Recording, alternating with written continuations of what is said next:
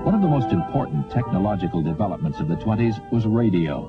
The first radios were called crystal sets, and we listened to the first broadcasts through earphones. Thousands were sold, and we took them everywhere. Radio quickly became big business. By 1923, an 8-tube RCA with five dials and a speaker cost $275. GE sold 11 million sets that year.